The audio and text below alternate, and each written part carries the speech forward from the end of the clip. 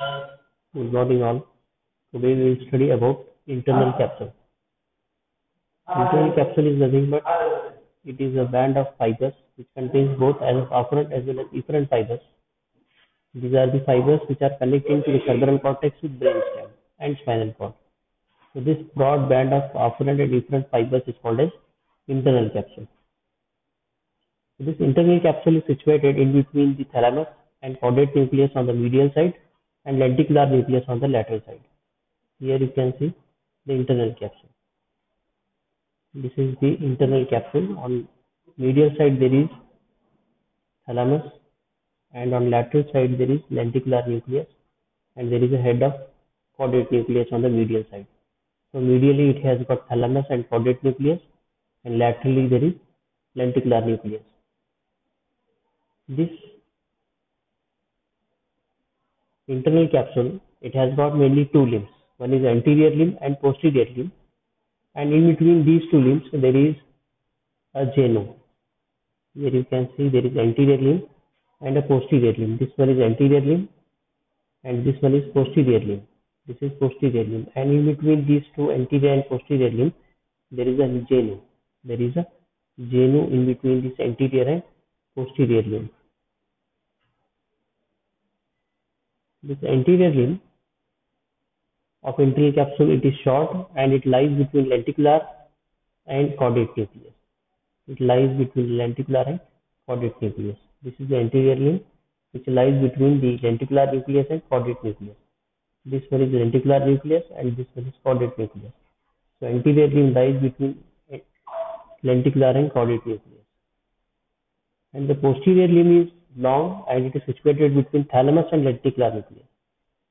So this one is posterior limb. This posterior limb is long and it is situated between caudate nucleus and lenticular nucleus.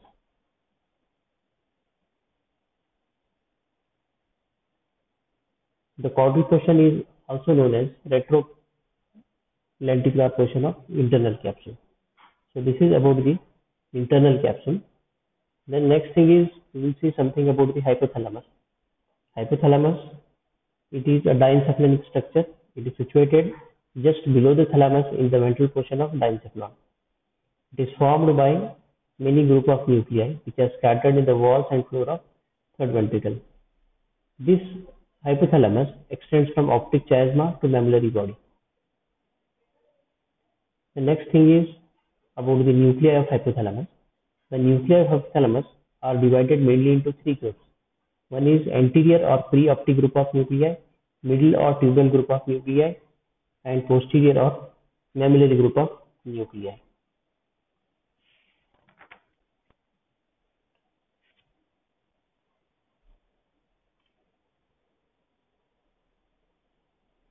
So here first one is about the anterior group of nuclei.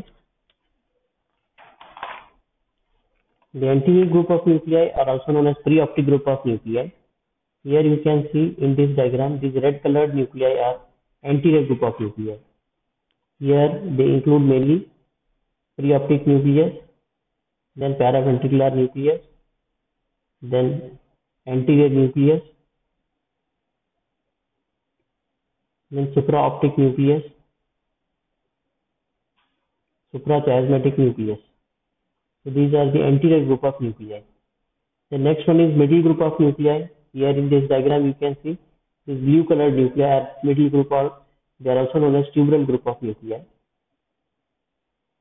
These nuclei are mainly dorsomedial nucleus. Here you can see this one is dorsomedial nucleus, ventromedial nucleus. This one is ventromedial nucleus, then lateral nucleus, and arcuate nucleus are also known as tuberal nucleus. So these are the middle or tuberal group of nuclei. The next one is about the posterior group of nuclei or also known as mammillary group of nuclei. Here you can see this brown colored are posterior or mammillary group of nuclei. This posterior group of nuclei includes mainly posterior nucleus. This one is posterior nucleus and second one is mammillary body. So these two things are the included in posterior or mammillary group of nuclei. Anterior group of nuclei, middle group of nuclei, and posterior group of nuclei. The next thing is about the connections of hypothalamus. Here hypothalamus has got both afferent as well as efferent connections. If you see the afferent connections of hypothalamus, here the fibers from limbic system, they reach to the hypothalamus, fibers from hippocampus, amygdaloid nucleus, frontal cortex, globus pallidus, thalamus, reticular formation and retina, they reach to the hypothalamus. These are the afferent connections or sensory connections. Then efferent connections or motor connections of hypothalamus are mainly anterior nucleus of thalamus, then midbrain, reticular formation, dorsomedial nucleus of thalamus, frontal cortex, and posterior pituitary gland. These are the efferent connections. Fibers from hypothalamus will reach to these organs. These are the efferent connections of hypothalamus. So this is about the